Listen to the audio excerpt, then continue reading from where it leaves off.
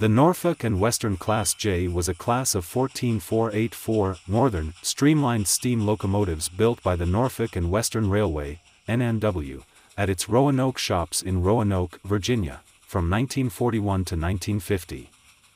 They were operated in revenue service until the late 1950s.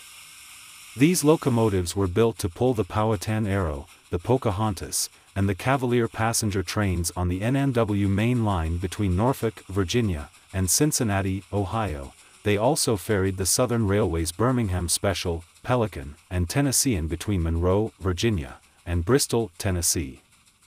The Class JS, along with the Class A and Y freight locomotives, formed the N and W's Big Three, locomotives considered the pinnacles of steam technology.